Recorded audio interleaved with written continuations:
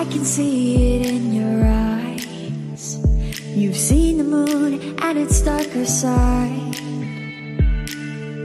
I can feel the gravity. The forces pull between you and me. Yes, it's true, I'm falling hard for you. But I won't rush this love. I can wait even if it's hard to take. One moment is enough. I will be standing here right by.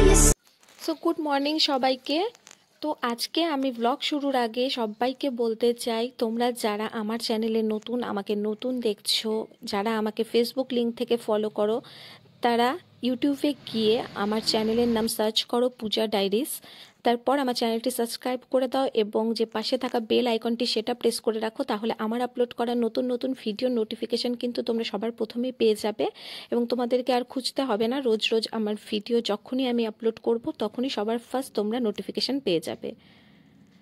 আর যারা subscribe করে দিয়েছ, তাদেরকে অসংখ্য ধন্যবাদ। তোমরা এভাবেই আমার পাশে থেকো এবং আমাকে সাপোর্ট করো।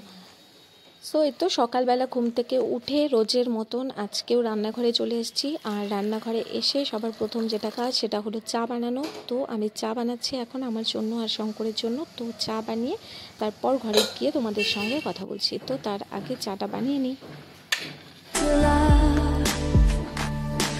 I can wait even if it's hard to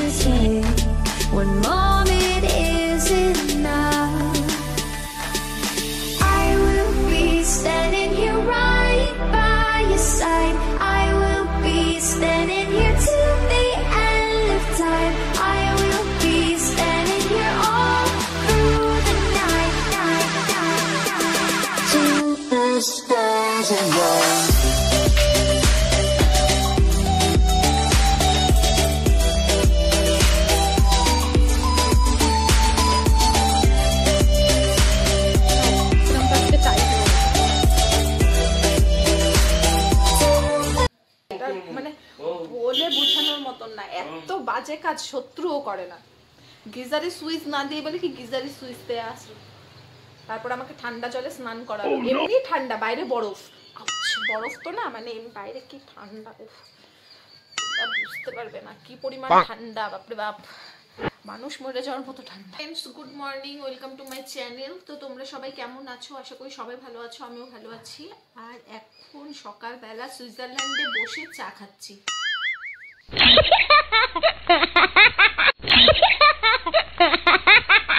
তো আজকে সকাল সকাল ব্লগটা স্টার্ট করেছি। নিরামিষ পর্ব।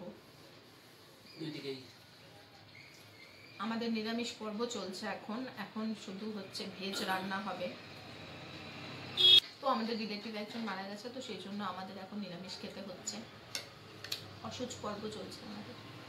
চলো এদিকে গল্প করতে করতে চা ঠান্ডা হয়ে যাচ্ছিল, তো আগে চাটা খেয়ে নিই, তারপর আবার কথা বলছি তোমাদের সঙ্গে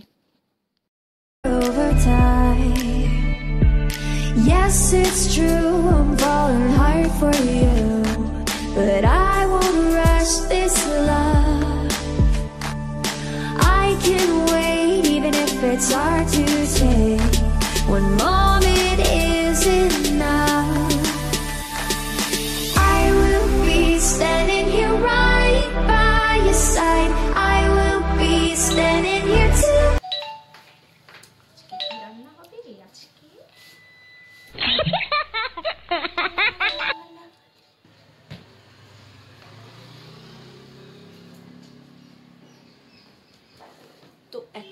বিছানা পরিষ্কার করব সবকিছু ক্লিন করব তারপর টাটা।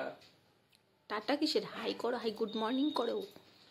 গুড মর্নিং বাইরে সুইজারল্যান্ড হয়ে গেছে ঠান্ডায়। দার্জিলিং সুইজারল্যান্ডে কোথায় যাব? দার্জিলিং তো বাড়ির কাছে। না না দূরেই যাব। যাব তো দূরেই যাব কাছে কেন যাব? এখন আমি একটু তো চা খেয়ে আমি এটাই ডিসকাস করছিলাম শঙ্করের সাথে যে আজকে কি রান্না হবে। শুধু আজকে বলে না, টানা পনেরো থেকে ষোলো দিন আমাদের নিরামিষ খেতে হবে। আর যেহেতু আমি নিরামিষ পছন্দ করি না, তো এটা নিয়ে খুব চিন্তিত হয়ে পড়েছি আমি আর কি। তো যাই হোক, এখন আমি এসেছি ব্রেকফাস্ট করতে মানে ব্রেকফাস্ট বানাতে। তো আজকে বানাবো ম্যাগি আর কিছুটা সুইটকর্ন আছে, সেটা তো তার জন্য আমি এখানটাতে ফ্রাই প্যানে একটু বাটার দিয়ে দিয়েছি। তার মধ্যে আগে থেকে সেদ্ধ করে রাখা সুইটকর্নটা দিয়ে দিলাম।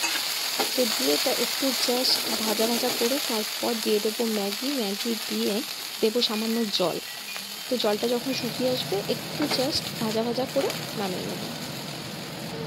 তো রোজ যে একই রকম ব্রেকফাস্ট করি তেমন কিন্তু না। আমি কোনো কোনো দিন ভাত বা রুটি মানে যা খুশি যেটা মন চায় কর্নফ্লেক্স যে কোনো কিছু একটা খেয়ে নিই, কোনো কোনো দিন স্কিপও করে যাই।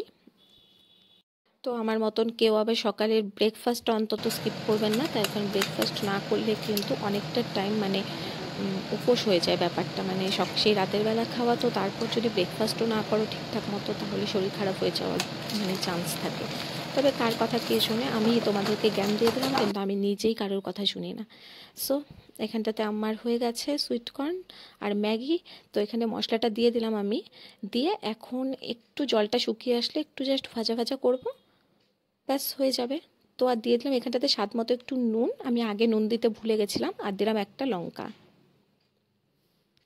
তো তোমরা যে যার পছন্দ মতো সসও ব্যবহার করতে পারো এই রান্নাটাতে, তবে আমি আজকে আর সস দেবো না। তো এটা এরকমই খাব।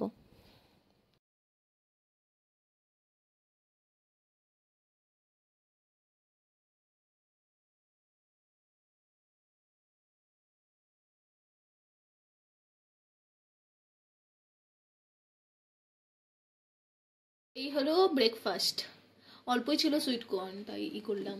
ম্যাগির সঙ্গে একবারে করে দিলাম।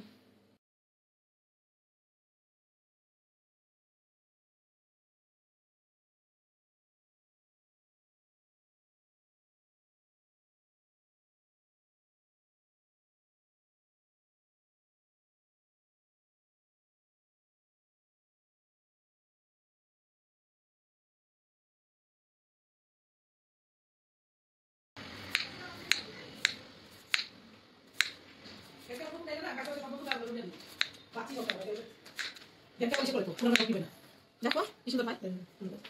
ওটা বসে কাটা যাবে এটা কাটা যাবে ওটা পেঁয়াজ কাটা যত আছে শুনুন ওটা তো করো আমার এটা বেশি পছন্দ। এটা অনেকে কাটা কাটে তো তোমরা দেখতেই পাচ্ছ আমি রান্নাঘরে চলে এসেছি আর এখন চলছে রান্নার প্রিপারেশন আর তোমরা হয়তো একটা জিনিস লক্ষ্য করে দেখবে আজকে আমি ঘরের যত যাবতীয় সবজি আছে সব কেটে ফেলব। তার কারণ আজকে আমার মানে চপিং বোর্ড আর এখানটাতে ছুরি, নতুন ছুরি এসছে। মানে যা যা সবজি আছে সব আজকে কাটতে থাকব একের পর এক। সেটাই মানে আজকে মেন উদ্দেশ্য আমার। তার কারণ যেহেতু নতুন জিনিস মানে আমি একটা হাতে বেলে পরে সেটাকে মানে একদম মানে ওটাকে শেষ করে তারপর ছাড়ি। এইরকম একটা ব্যাপার। তবে এটা এত সহজে শেষ হবে না। কারণ এটাকে আমার যত্ন করে ব্যবহার করতে হবে। এটা আমার মানে খুব দরকারি একটা জিনিস। তো চলো, আজকে খালি সবজি কাটবো সবজি কাটবো সবজি কাটবো। তো তোমরা সাথেই থাকো, দেখতে থাকো কি কি রান্না হবে। অবশ্যই এগুলো রান্না করব, সবজিগুলো শুধু কাটলে তো হবে না, সেগুলো রান্নাও করতে হবে। তা চলো আগে সবজিগুলো কেটে নিই।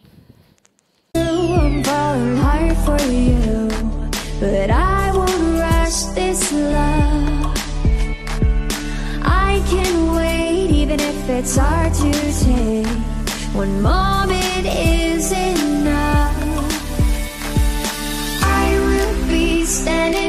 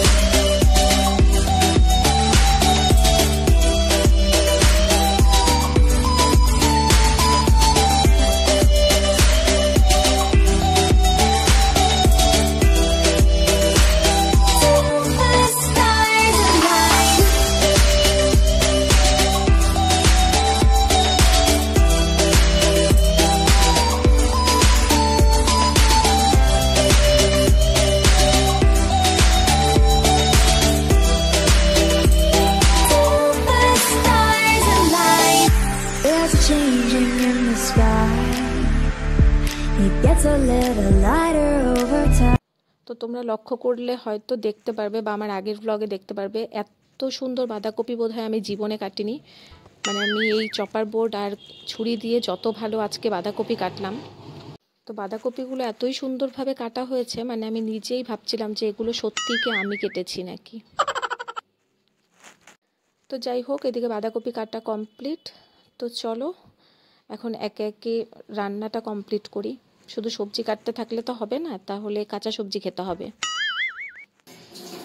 তো আজকে রান্না করব বাঁধাকপি, ডাল, আলু ভাজা, আর করব ধোকার ডালনা। তো চলো তোমাদেরকে দেখাই কি কি রান্না হবে, আজকে রেসিপিগুলো শেয়ার করব। তো তার আগে আমি সব কিছু আগে কেটে ধুয়ে পরিষ্কার করে রেডি করে নিই, তারপর রান্নাটা শুরু করব। I can wait even if it's hard to. One moment is enough. I will be standing here right by your side. I will be standing here till the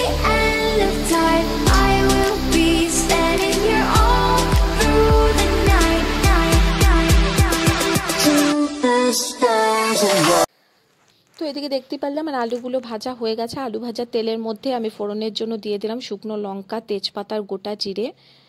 তো সবার প্রথমে আমি বাঁধাকপি রান্না করব। তো তার জন্য বাঁধাকপির জন্য আমি ছোটো ছোটো কয়েকটা টুকরো করে আলু কেটে রেখেছি। সেটাও আমি এই তেলের মধ্যেই ভেজে নেব। Of time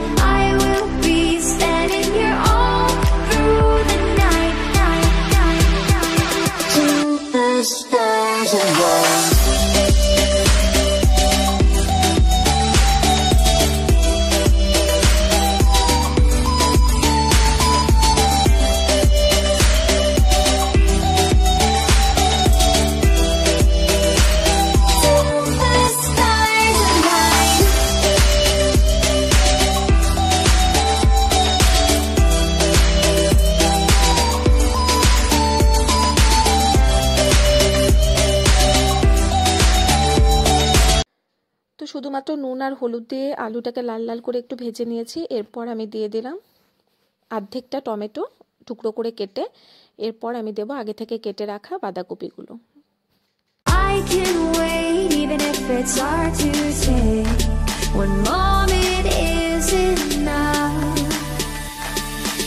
I will be standing here right by your side.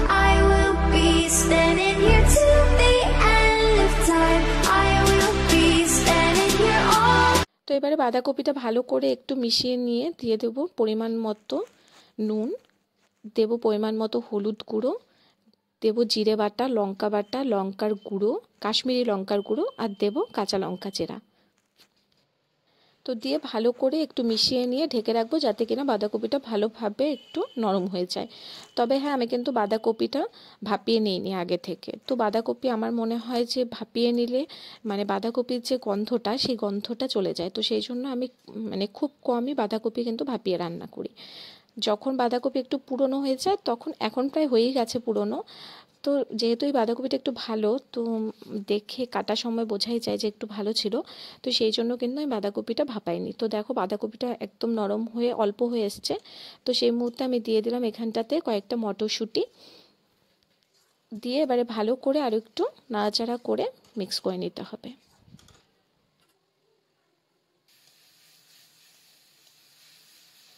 তো আরও পাঁচ মিনিট মতন ঢাকা চাপা দিয়ে রেখে একটু ভাজা ভাজা করে স্বাদ মতো চিনি আর গরম মশলা দিয়ে নামিয়ে নিলেই রান্নাটা হয়ে যাবে। তো এদিকে আমি ধোকাটা রান্না করে নিচ্ছি। তো ধোকাটা আমার এখানটাতে রেডি হয়ে গেছে। তো এটা আমি তেলের মধ্যে একটু জাস্ট ভেজে নেব, নিয়ে তারপর আমি পিস পিস করে কাটবো, কেটে তারপর তেলের মধ্যে ডিপ ফ্রাই করব। তো ধোকার ডালনার রেসিপিটা আমি যদি সম্পূর্ণ রেসিপিটা তোমাদেরকে দেখাতে যাই এই ব্লগে তাহলে আমার ব্লগটা বড় হয়ে যাবে এবং আপলোড করতে প্রবলেম হবে। তো ধোকার ডালনার ফুল রেসিপি একদম টিপস সহ আমি তোমাদের সঙ্গে শেয়ার করব। কালকে আমি আপলোড করব। তো এদিকে দেখতেই পাচ্ছ আমি ধোকাগুলোকে কেটে নিয়েছি। তোমরা যে যেমন শেপে চাইলে কাটতে পারো। তো আমি এখানটাতে তিন কোনা মতন করে কেটে নিয়েছি, বরফির মতন করে। তো এবারে ধোকাগুলোকে ভেজে নিচ্ছি আমি। তারপর দেখাচ্ছি একে একে রান্নাটা আমি কি করে করছি। তবে চাইলে তোমরা এই ধোকার যে ভাজাটা সেটা কিন্তু ডালের সঙ্গে খেতে পারো মানে টেস্টি লাগে খেতে। তো দেখো, এখানটাতে আমার প্রায় সবগুলো ধোকার টুকরো ভাজা হয়ে গেছে। আর এবারে রান্নাটা আমি করছি এখানটাতে। তো আমি তোমাদেরকে আগেই বলেছি যে এই রেসিপিটা আমি আজকে মানে মানে পুরোপুরি শেয়ার করছি না, আমি নেক্সট ডেতে তোমাদের সঙ্গে শেয়ার করব। আর এখানটাতে ধোকার ডালনাটা প্রায় হয়ে গেছে, আর আমি কয়েকটা আলুও দিয়েছি, যেহেতু নতুন আলু। তো আলু মটরশুঁটি দিয়েই করেছি। তো সবশেষে আমি এখানটাতে দিয়ে দিলাম কিছুটা ঘি, দিয়ে নামিয়ে নেব।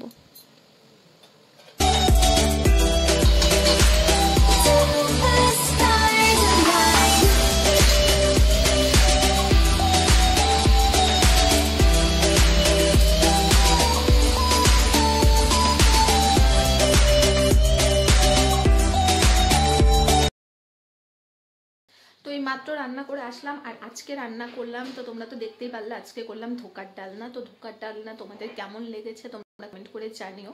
তো কেমন লেগেছে দেখে তো সবই ভালো লাগে, তবে সেটা রান্না করতে হবে, খেতে হবে, তারপর বলতে হবে, তাই না? যে কেমন হয়েছিল। তো আমি বলব যে তোমরা একবার বাড়িতে ট্রাই করো, তো এইভাবে করে করতে পারো, করে তারপর তোমরা কিন্তু আমাকে কমেন্ট করে জানিও যে তোমাদের কেমন লেগেছে। তো তুমি তো লাঞ্চ করে তারপর তোমাদেরকে বলছি যে কেমন হয়েছে খেতে।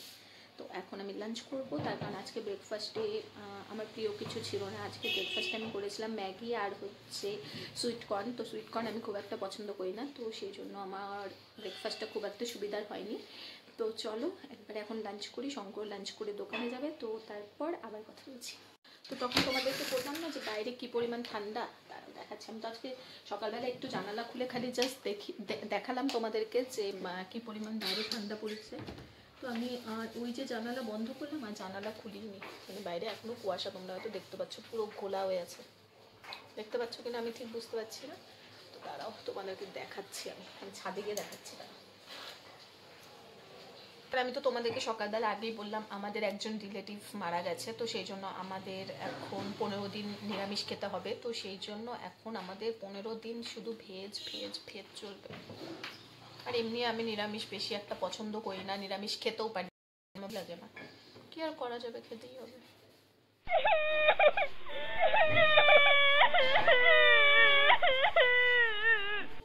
তো আমি এখন আমার জন্য ভাত বাড়ছিলাম। তো রান্নাটা কিন্তু খুবই টেস্টি হয়েছিল আর আমি রেসিপিটা তোমাদের সঙ্গে শেয়ার করব কাল টিপস সহকারে। তো আমি কি করে ধোকার ডালনা তৈরি করি।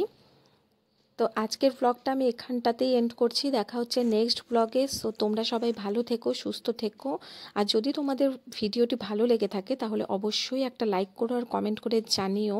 আমি তোমাদের কমেন্টের রিপ্লাই অবশ্যই দেব। সো আজকের মতো, টাটা। আর যারা ধোকার ডালনার রেসিপিটা দেখতে চাও, যারা এখন আমার চ্যানেলটি সাবস্ক্রাইব করনি, তারা চটপট সাবস্ক্রাইব করে দাও আমার চ্যানেলটি